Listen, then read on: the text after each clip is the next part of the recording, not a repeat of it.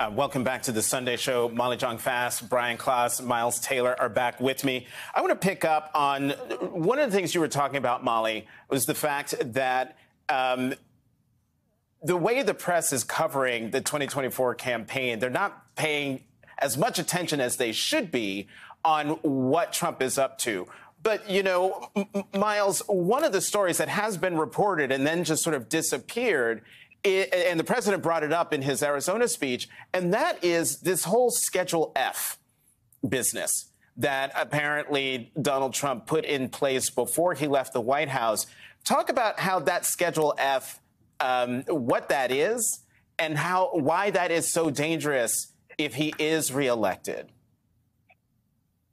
Well, Jonathan, towards the end of the Trump administration, there was a concerted effort among lawyers to figure out if they could purge the so called deep state. And what they wanted to do was be able to fire federal employees in mass, civil servants, non politically appointed people, so that they could gut them and replace them with individuals who were more favorable towards Donald Trump and the MAGA movement.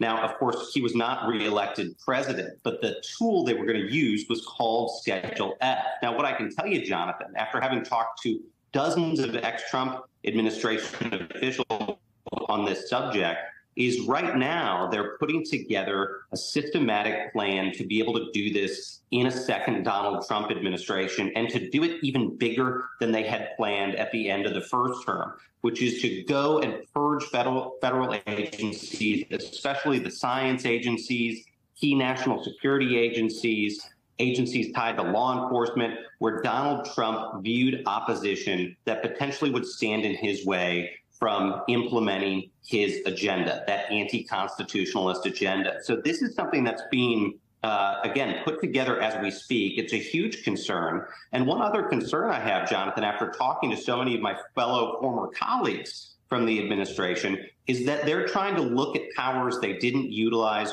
previously for a second Trump administration. And one of those that I cited in my book, Blowback, was something called the PEADs, the Presidential Emergency Action Documents, or the Doomsday Book. There are extraordinary presidential powers that the American public does not know about that Donald Trump and his team are intent on using in a second term because they know those powers will help them get over democracy's guardrails and again implement an agenda that's contrary to the Constitution. That's how serious this has become.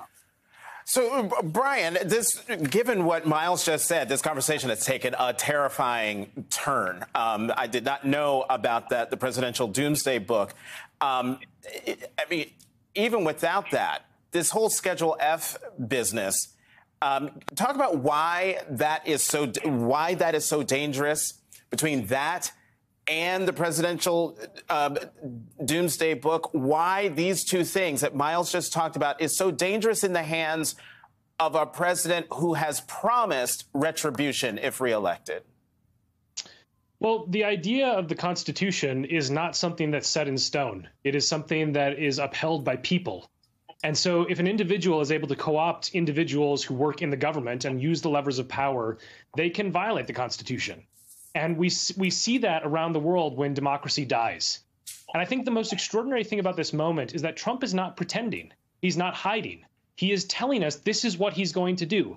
And at the same time, he's telling his rallies, you know, we should celebrate violence. So you have an authoritarian figure who is facing 91 felony charges, who has been found liable for sexual abuse, and has, you know, basically telegraphed that he's going to use the full power of the government to go after his enemies on, you know, baseless charges. And that person is being covered as though they are of a similar level of problem as a mainstream Democratic official who is 80 years old when Trump is 77 years old. And this is the problem with, with the narratives that have been constructed around this is that we have one story in this country. The story is that a dangerous authoritarian who is facing massive felony charges is about on the cusp to retain power and to use that power against his enemies to erode democracy. That's 2024. And that is the story that should be on every newspaper, in every press outlet until the election because it's the most important thing. And we can't chase novelties like Joe Biden's dog biting someone or Trump, you know, Biden almost falling over. This is absurd. I mean, this is a, a total failure of magnitude bias. Don't chase the shiny objects. focus on the important story. And that is the job we have until November of 2024. Um, and Molly, you're going to be with us um, um, in the in the next block, so I'm going to pick up this conversation with you on the other side. But Brian Klaas, Miles Taylor, thank you both very much for coming to the Sunday showing and having this conversation.